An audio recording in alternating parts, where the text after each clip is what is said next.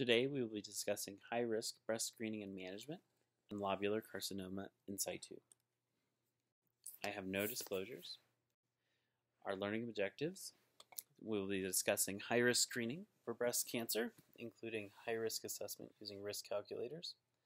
We will discuss prophylactic options in high-risk patients to reduce risk for development of breast cancer, including hormonal prevention and prophylactic mastectomy, and we'll discuss the epidemiology, diagnosis, pathology, and management of lobular carcinoma in situ.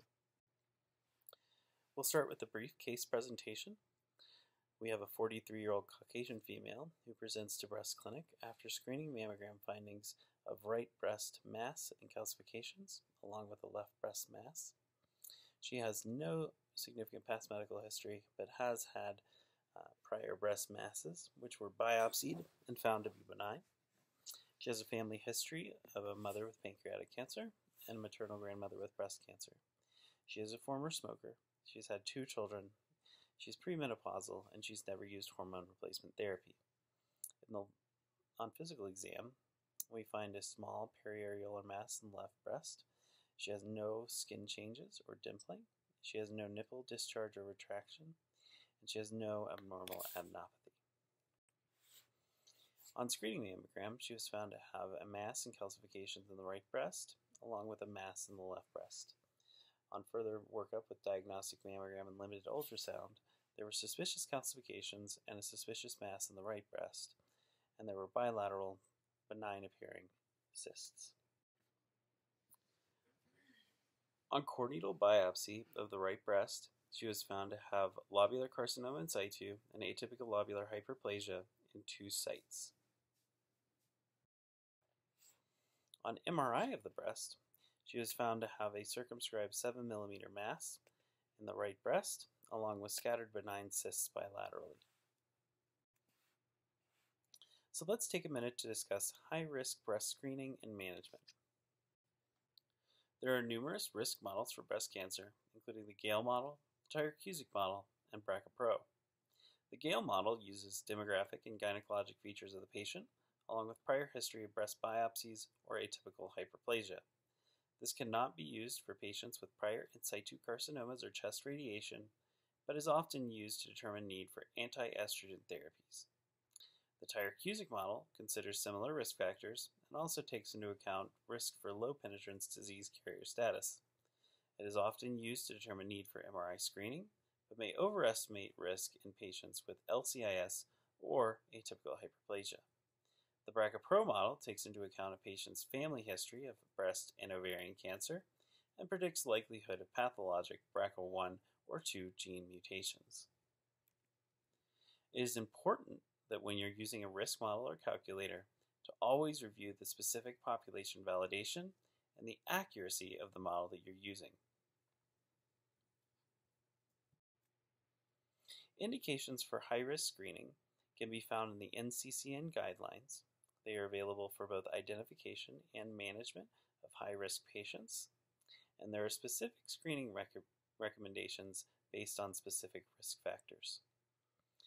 Several of the most common indications for screening MRI include history of pathologic gene variants, patients with a greater than 20% lifetime risk of breast cancer based on predictive models, a history of thoracic radiation therapy at age prior to 30 years, and a history of atypical hyperplasia or LCIS with a greater than 20% lifetime risk based on risk models.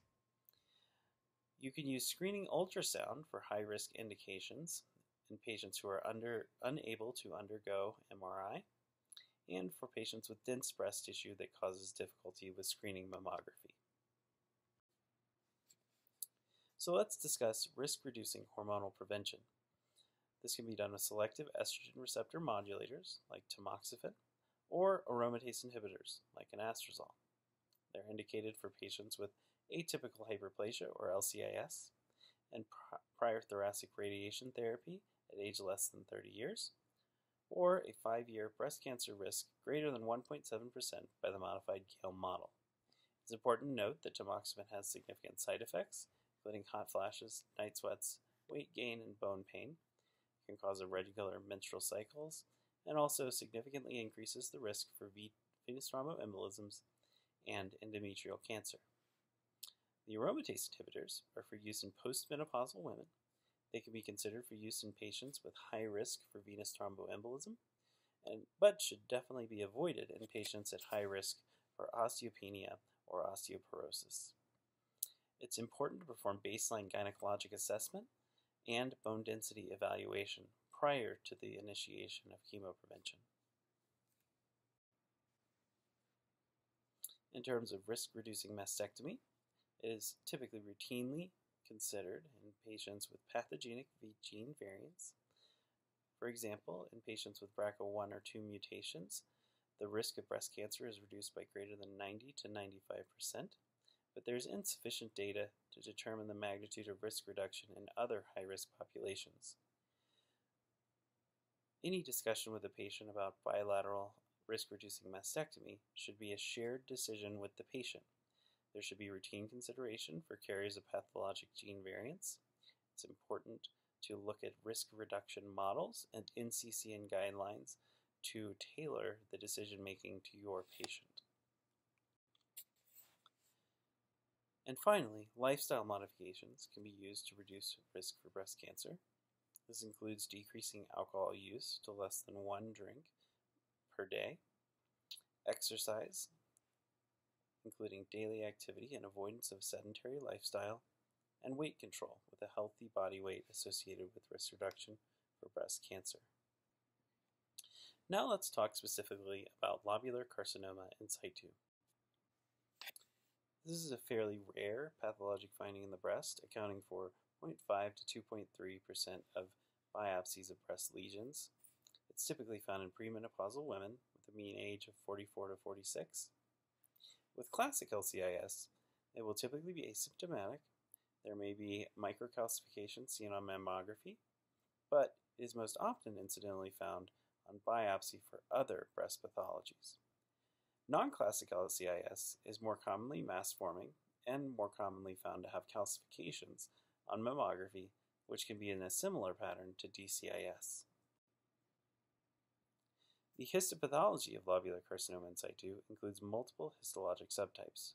The classic subtype, as seen in the upper right-hand corner of the screen, includes small cells with small, round, uniform nuclei, eosinophilic cytoplasm with intracytoplasmic vacuoles, and will typically involve the terminal duct lobular units.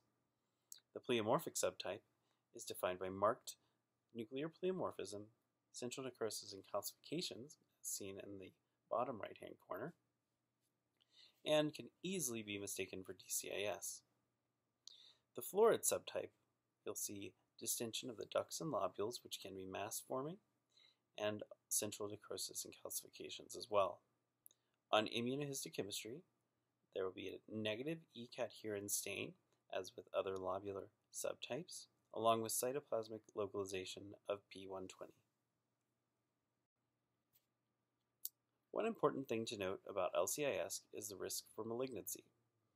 While there is a low rate of upgrade to invasive malignancy on excisional biopsy for classic LCIS at less than 5%, there's greater than 20% risk with pleomorphic LCIS. In addition, it is a marker for high lifetime risk of invasive breast cancer. There is a greater than 7 to 11 fold lifetime risk for developing breast cancer in either breast, and about a 1 to 2% per year lifelong absolute risk.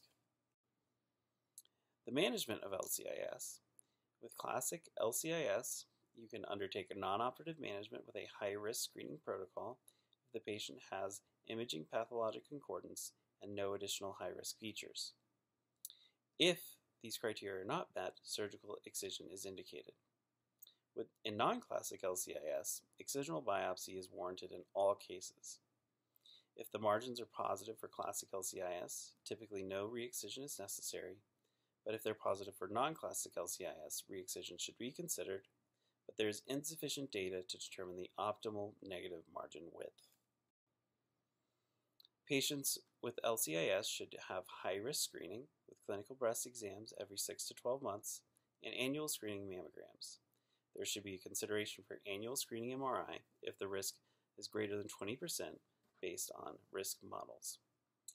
Hormonal prevention is indicated in all patients and reduces the risk for ER positive breast cancer. And risk reducing mastectomy is no longer routinely performed due to effectiveness of hormone therapies, but still, currently 5% of women undergo risk reducing mastectomies. Returning to our case presentation, after counseling of risks and benefits, our patient ultimately decided to undergo prophylactic bilateral mastectomies due to a history of multiple breast biopsies and the associated anxiety. She underwent bilateral skin sparing mastectomies and a right sentinel lymph node biopsy, and tissue expanders were placed with a plan for oncoplastic reconstruction. Her final pathology showed lobular carcinoma in situ with associated atypical lobular hyperplasia, but no upgrade to an invasive malignancy.